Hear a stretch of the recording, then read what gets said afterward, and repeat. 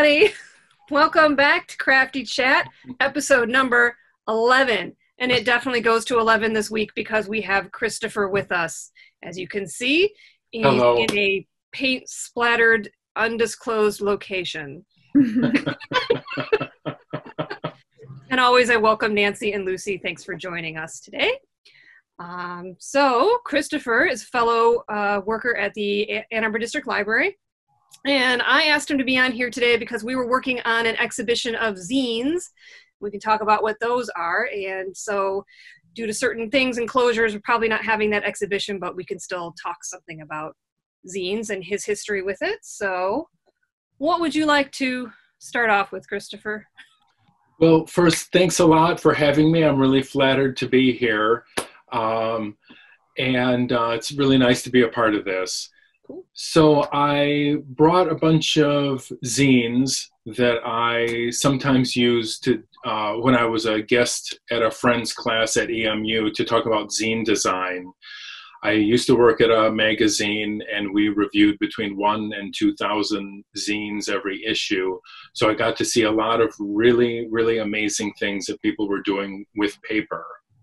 Um, I saw so many creative things that it was pretty daunting um, because I didn't have a lot of time to make my own zine um, at that time, uh, but I still saved a lot of these.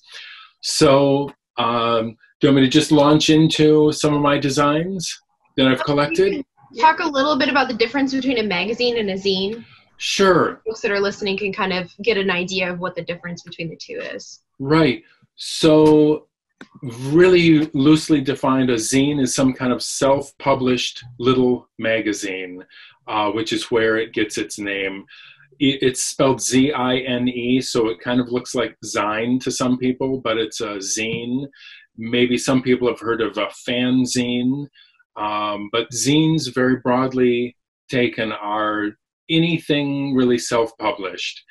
And within zines, there were all kinds of topics. People would review uh, shows that they would, were going to, the punk scene, movies, personal life, comics, art, everything. Uh, it was any kind of self expression that you would put out in a kind of semi regular format. And uh, I've got some examples of those here. Um, mostly these are ones that really caught my eye for their design instead of just their writing. Mhm. Um, I like how you said semi-regular because I remember looking through a lot of these and people would always be publishing it and be like, "I'm so sorry, you guys. I know I was supposed to have this out a month ago." And it's really funny because a lot of bloggers are like that too. They're like, "Oh man, I don't I didn't mean to ghost y'all." You know, it's like, Yeah. but time gets away from you, and it can be a lot of a lot of time spent making those. So It can. Yeah. Uh, th- so there were a lot of kind of one-offs that people had thought were going to be a long series, and they would just make one, and it was a lot of work, and that was enough for them. And some of you know some of the best zines were just around for a very short amount of time.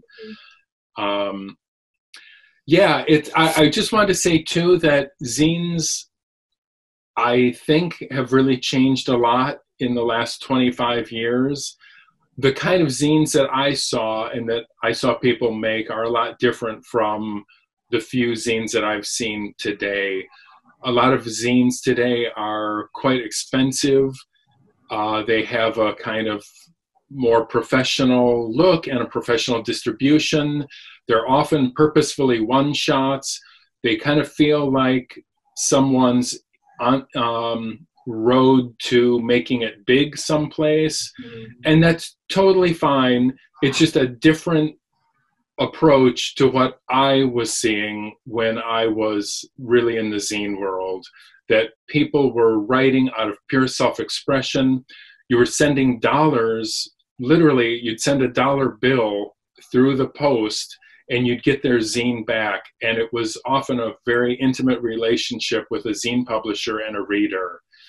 And sometimes I see people advertising zines on Twitter and they're five or ten dollars and it just feels different to me. So A lot of the zines that I first saw when, so I first saw my first zines at art shows, and like so like art fair. Um, some of the places that I would go in Detroit and even out of state in like Milwaukee and Miami, um, there'd be like street fairs where folks would have a table, or even some of the protests and demonstrations that I've gone to, um, they'll have a table, and it's everything from just like eight pages of copy paper folded in half and stapled with just black and white photocopies everything on it from that all the way up to a soft cover bound book that's maybe 20 30 pages. A lot of the stuff that i see online too because i do follow and i have stumbled across a lot of different zines through tumblr and instagram and some of the different communities that i follow where it really is more just like a soft published book. Um, so because there's so many printing services that are available now where you can it's much more economical than it was even five years ago to have a book published where it's just bound together as like a soft cover book. But no all the zines that i remember were some of them were even just like four a, a piece of copy paper that was folded into fours and it's like three pages of right. content and that was so cool um, to me the ones that, that were just photocopied for mass distribution and those are all, always the cheapest and the most interesting to me Right. Yeah.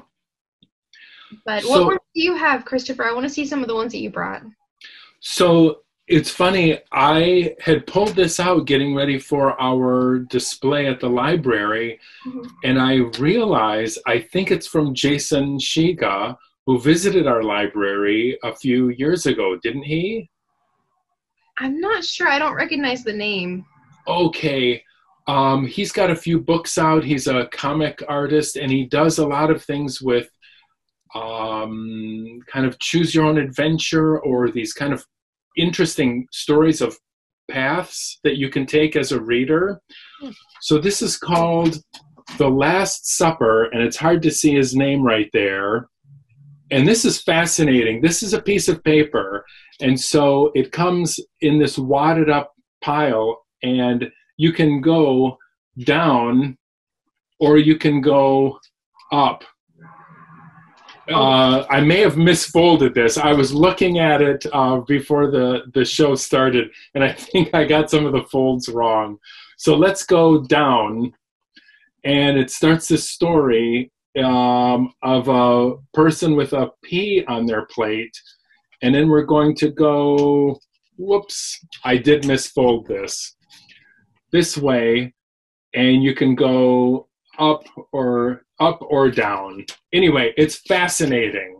that's really cool This is the kind of thing I mean when I I say it's you know, it's made on paper, it's just photocopied, Mhm. it's so amazingly designed and you could just drop this in an envelope and sell it to someone for a buck or a postage stamp or a trade that was also really common Mhm. so this unfolds uh, so far and it tells a story and the story branches depending on which side you flip so that's really cool He did. Yeah. He wrote um, Meanwhile is one of his graphic novels. I think that was like one of my son's favorite. I think because of, because of that, choose your own.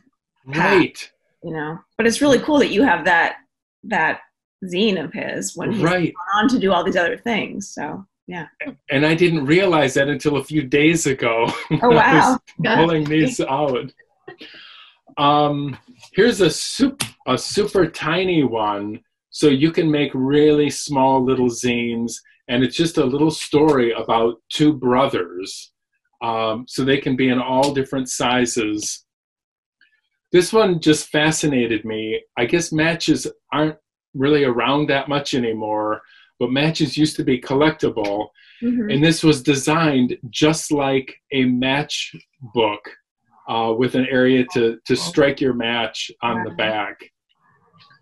Um, we still have boxes of matchbooks my parents had when Yeah. when they were like they'd collect them from bars or restaurants that they go to when they were on vacation we had a whole drawer full of them when i was growing up and i don't see them as much anymore and it makes me a little sad but right. Yeah, my, uh, you my know, dad has binders of them. Like he's got plastic oh my sheets god that they're, yeah, I mean, it's like that's really cool i don't know i i like uh printing and souvenir type stuff, like the the culture of souvenir making Mhm. and like some of the the conventions of like what's popular throughout history is just kind of enchanting to me. But then again, I pull old postcards out of bins at antique fairs and then use them in collages. So I'm I'm constantly picking up that kind of stuff.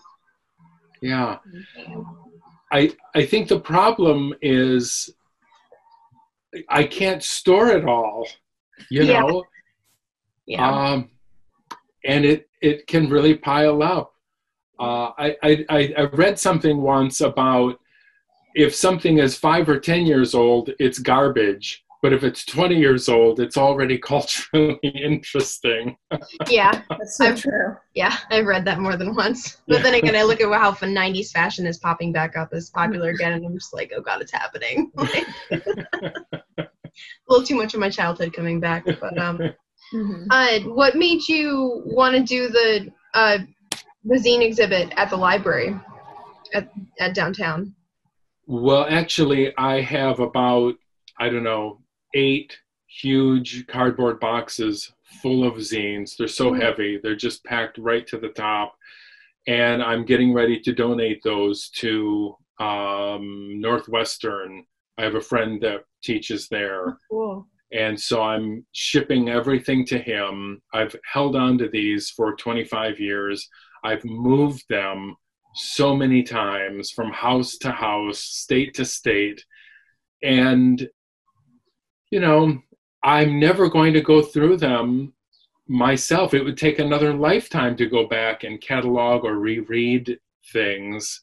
It just made sense to get them in the hands of someone who would appreciate them culturally. Yeah, absolutely. That's um I had a friend in college who got me got me my job at the MSU library actually when I was in college and she wanted to study um she did she wanted to study abroad in Hamburg in, in Germany specifically to study a collection of punk zines from the 80s Right. and that was what she wanted to do her uh, library science thesis on.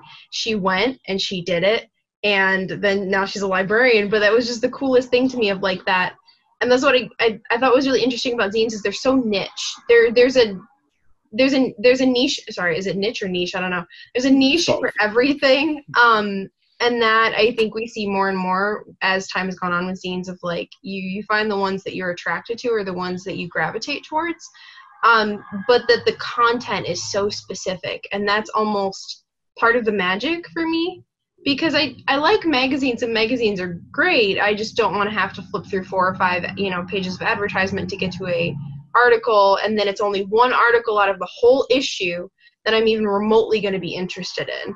So like having that the, the work of that packaging something so specific in a small easy to consume format was like that's social media before social media to me. Like that's I think that's really cool. It's hashtags before hashtags were a thing. So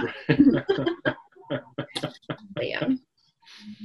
Yeah, they I've kind a- of were though that social media because different people, like in their communities or whatever, knew about the zines, and sometimes you know they were mentioned in them, and Mhm. there was there was a communication that way, which is it was really Yeah. interesting to see too. Yeah. Yeah. Yeah. I've, So what else I've got just a few others. Um, this one has always made me laugh. It's called Snacks, and it came with a milk bone glued on the cover, and that's fallen off now, but I still have half of it. It was a collection of missing pet posters, and that's the the entire zine was just Aw, missing pets That's so awesome. that's so cool. and it's just such an odd idea and just it was kind of funny and touching really to read. Um, and then uh, i wanted to show this one too. I, I just love this design. It's in the the uh, it's designed like a business reply envelope and it, it just made me laugh to see that. That's cool. um, I like And- things that are designed as other things. Mhm. right That, that masquerading thing I think is is is a fun thing. But that's one of the cool things.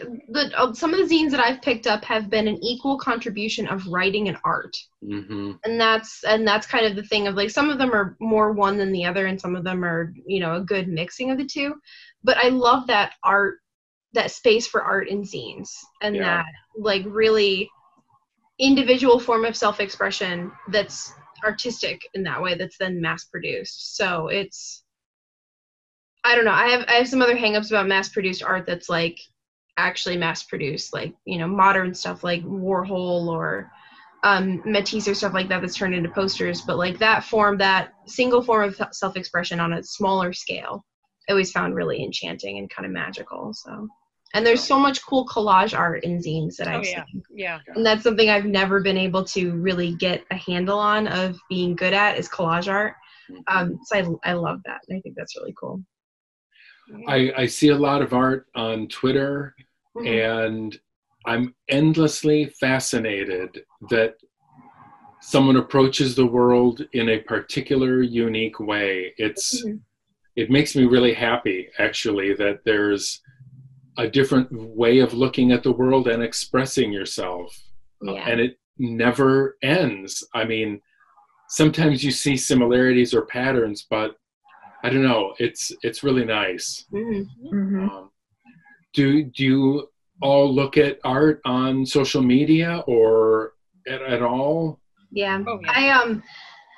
Oh God, I'm gonna date myself here. Um, I was really active on the internet in the heyday of DeviantArt.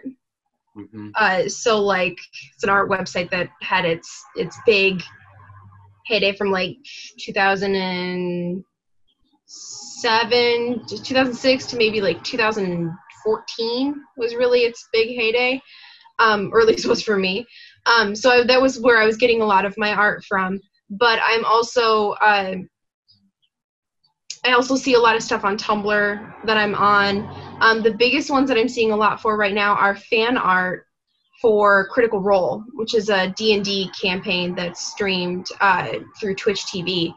And a lot of the, the community around that show is very artistic and very creative. And the players themselves feature, make a point of featuring a lot of the fan art that's been created by their fans um, of these characters, uh, which is really, really cool. And I followed for a long time looking for fan art for like Harry Potter. Um, oh my god, I'm gonna blank now on a bunch of them. So like young adult books that I would be reading, TV shows. Um, oh my god, Tumblr around the time of like 2012 to 2016 with supernatural fandom stuff. so like the show Supernatural was just crazy rampant um so a lot of the art that i consume is is fan art based or like cosplay images and stuff like that Yeah, two things that I'm thinking of that I tend to kind of dip into every now and then is that website. This is colossal. I think is what it is. Hmm. And then there's my modern net, my modern net. I think it might be. I don't know. A lot of times these things just like pop through my Facebook feed, honestly, and then I just go into there. But like they just they showcase a lot of different artists and Mhm. like there was a crocheted sea urchin thing, and they were like huge sea urchins. And I think that was in Japan because it was kind of like a thing to bring attention to the plight of the sea urchin. Um, so anyway, that's something I was thinking of recently. Yeah, I don't know. Yeah, I, my modern Met is one that I do. To, I mean, I check out. Mhm. Um, It's But called otherwise- Mime- my modern Met, I think, right? Yeah, I Yeah. think yeah that's what it at is. the met museum Yeah. Um yeah i see a lot of more of what's currently on my social media is a lot of stuff that's embroidery art Mhm. Um, I follow the Royal School of Needlework and that runs out of Hampton Court in England, and um, them and some of their former students that are now instructors. And then I follow a couple tags that are specifically like embroidered art. Um, there's one artist in particular. Um, she's known as Hanecdote on Instagram, um, but she does a lot of uh, cultural and political type embroideries that are really she has a very distinctive style and it's really really cool um so i love her artwork and she's starting to put out more pieces uh right now which is really really awesome to see so Yeah, and Instagram's always great. Mhm. Yeah. You know? I feel like I get a lot of crafty kind of um, information coming through there, even if it's just things that then inspire me to go looking further. But mm-hmm. Yeah, Yeah, I've been getting a lot of pottery in my feed. Well, I mean, I sought it out, so. Yeah. Which I sometimes have mixed feelings looking at because sometimes it gives me the longing of like, I wish I was making stuff like that looks really cool, or it's like, God, that's something that I wanted to do, and now look, there's somebody doing it, and it's yeah. But- Yeah. And I'm just observing it. What kind of art are you finding, Chris? Right now? Oh, Uh, I see a lot of great printmakers Mm. on Twitter. There's a woman named uh, Kath. It's either Catherine or Kathleen Neeley. Her artwork is so beautiful, um, and she's she's a printmaker in I think in Tulsa. Mm. Uh, and I, I see a lot of old and new stuff that people are posting. It, it just it just endlessly fascinates me and just makes me happy. Um, yeah, all different styles. It's it's just wonderful. So Yeah, Yeah, that's so uh, that kind of leads me into wondering how did you you came across like some extreme crafting, we would call it. One day you're like, here's an idea for a library program. Let's harvest right. the milkweed. Yeah, I keep hearing about the milkweed project. I don't actually know what that is, so You were I Well- think you were there for part. Anyways, we'll talk. I, I might not have been paying attention. it was so bizarre that it was like, It's just Becker talking his gibberish again. so I have been we've we have milkweed that grows every year in our yard, and I spend a lot of time with it because it's uh, I like monarch butterflies and milkweed flowers are so beautiful. I, I really really like them, mm-hmm. and we always had them growing up as kids. And my mother would take the milkweed pods, line them with velvet and put fake gold around the edges and then put little figurines inside the pods and sell Oh my god, I think I've seen these with walnut shells. That rings a bell for Some some walnut shells, but that sounds amazing with the milkweed pod. That's like Sounds really cool. Yeah, I also it- love milkweed flowers. They smell amazing. they do. I realized that two or three years ago. And I happened to stumble across it. I was like, oh my god, these smell so good. So Right. so, and I've always been interested in doing other things with milkweed. Um, so I got looking at the the silk part of the the that's attached to the seed. Mhm. and some people have made or supposedly they used to make life preservers out of that silk um, Really? and then i was bugging you guys about weaving that silk into, Oh, okay. I into remember wool or other yarn and i said can't you just uh, learn drop spindle and just do this spin this I fiber. Yeah. spin this fiber. I've never heard of. The only thing I've heard is that plant fiber is a lot harder to spin than uh, animal fibers. So, I mean, I don't know how to spin. I want to learn, but I don't know if that's the best thing for me to learn on. But God, I would love to see that. But I mean, if like people can spin yarn out of their dog and cat fur, I'm sure it's possible. right I'm absolutely sure it's possible. Well, but most people use milkweed when they use it at all for the fibers in the stalk. That's what I was Not- thinking. Yeah. Right. Oh, okay. So people are making really sturdy cords, or pe- I guess the term is cordage. Uh, that sounds kind of goofy to me, so I just call it. It's really like rope that they're making Yeah. out of the fibers in just inside the stalk. It's it's fascinating, you know. so with all the milkweed I have growing, I found some monarch butter. I found some monarch caterpillars, and I brought one in the house, and I'm raising it, and it just molted. Um, so the caterpillar is not too mobile right now, but I'll try to hold it up uh, so that you can see it. Wow. Yeah, there it is. So cute. Yeah, the caterpillar is really, really cute. I've been able to watch it molt twice now, That's so neat. and it's it's just fascinating. They start so small and keep molting and getting bigger. How Um, big did you say he was when you found him? Uh, like, Like less than a half an inch. oh yeah, Like I like mean, maybe quarter teeny, of an inch. teeny tiny. Does Yeah. it have a name? Did you name it? Yes, I was gonna say, did you name him? No, Sure. which is which is curious, isn't it? It is. Yeah. Yeah. So I was just going to show a few more examples of some envelope art. Oh, Uh, yeah. if that sounds okay. Ooh, yeah. That's Um, something I've always wanted to do is envelope art. Or Yeah, like so- I don't think about it until after I send it. you know, it's it's as simple as just putting art on an envelope and mailing it to someone. Mhm. This I just loved. Uh, it's a map of the Czech Republic, and the address is right here. It was sent to my brother from a friend of ours, and I I just thought it was gorgeous. Amazing.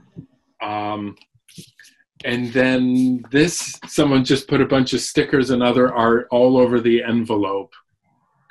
You know, and when you get something like that, Mm. it is so fun and exciting. hmm I think people have forgotten really the joy of writing letters, Mhm. spending a long time doing it, and then you someone gets this piece of art and piece of you in the Yeah. mail.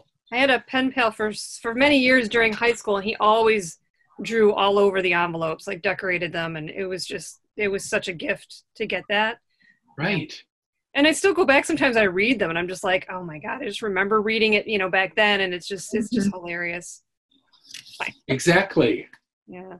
You know. Yeah, that's I still um I would think that I would write more letters and send more cards and stuff through the mail with how excited I get whenever I get a piece of mail that's not like junk mail.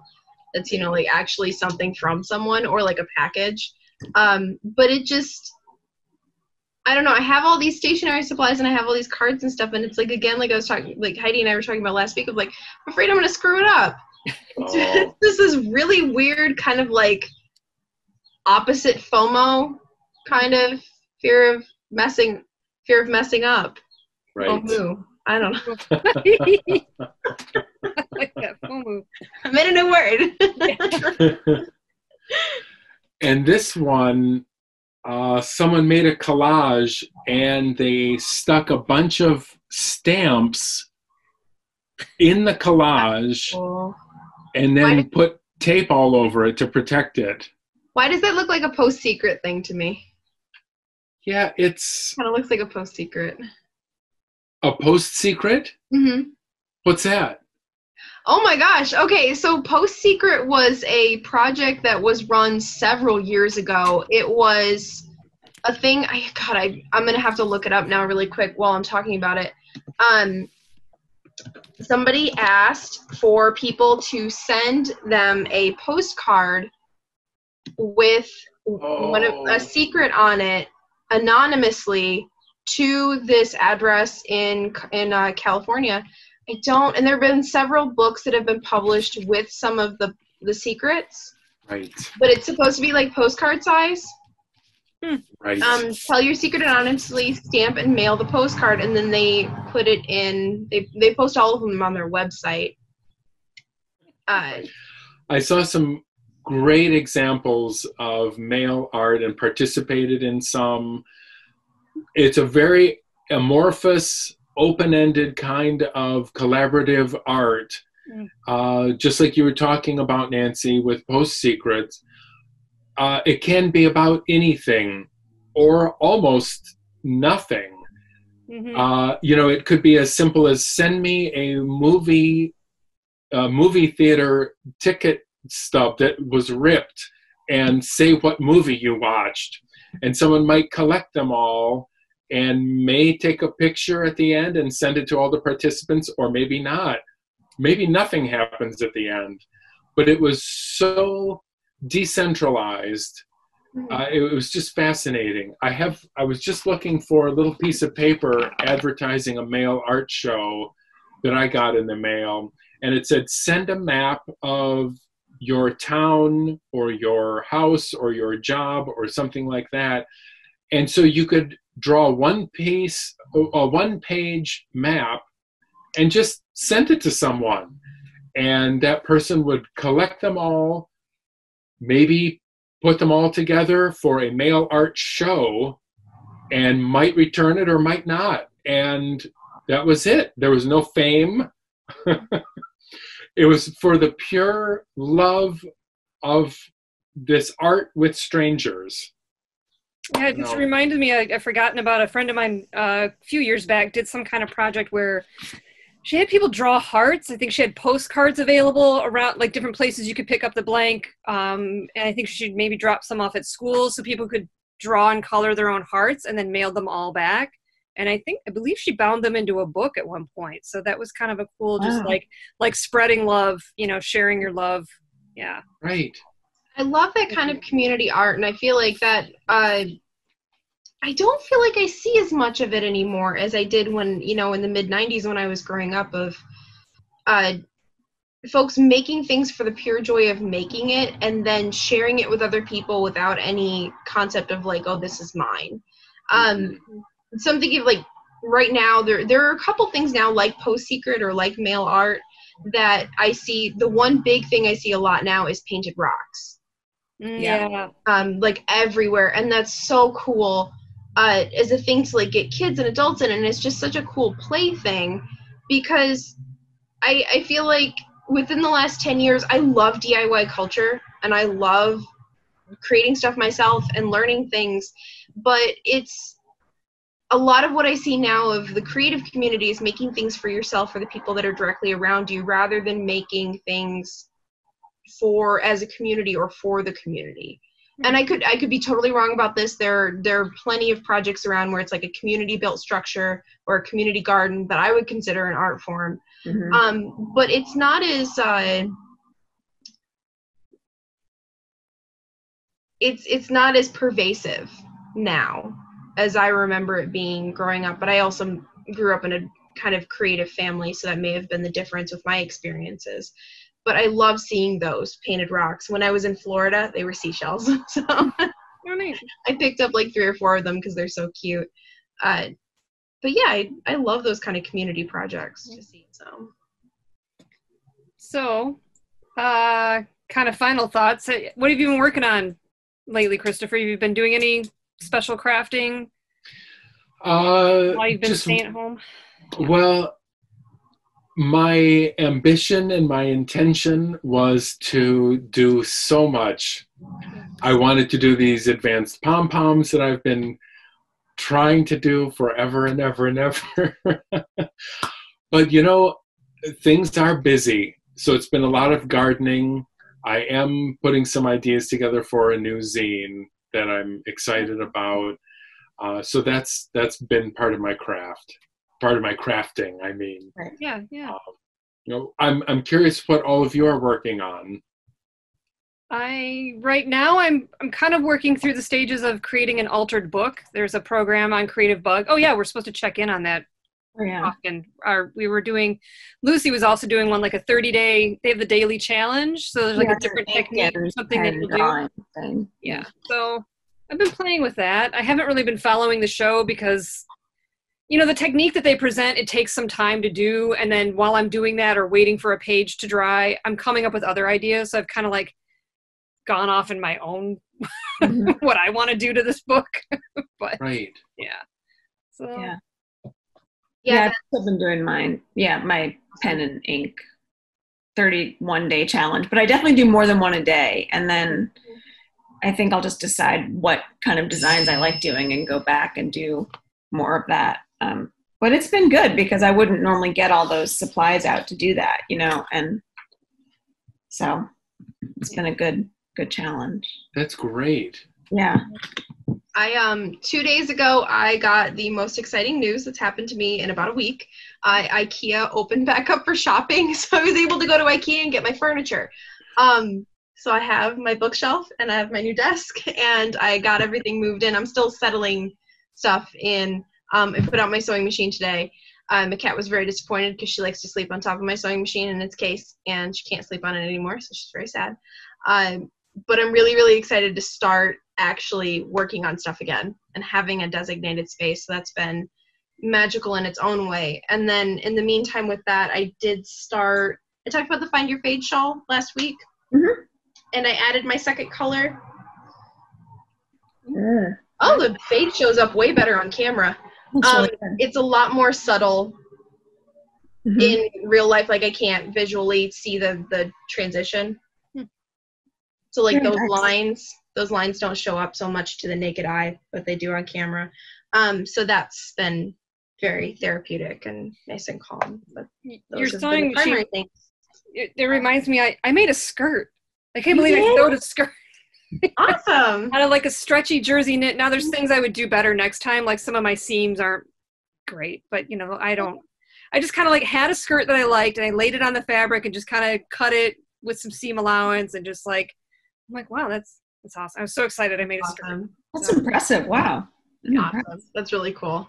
That was the first skirt that I made was a full uh I used to belly dance in college. So I made a, I made a, a, a full circle skirt Nice. out of like a really, really thick jersey.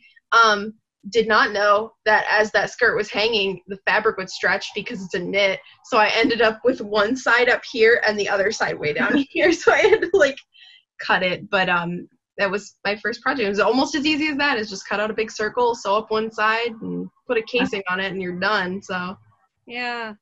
Like, so I had to play with different stitches, and you're supposed to have like a blunt needle. I got all this. I was like, whatever. I'm gonna work with what I got. Probably Yeah, my thread was too heavy, or I don't know.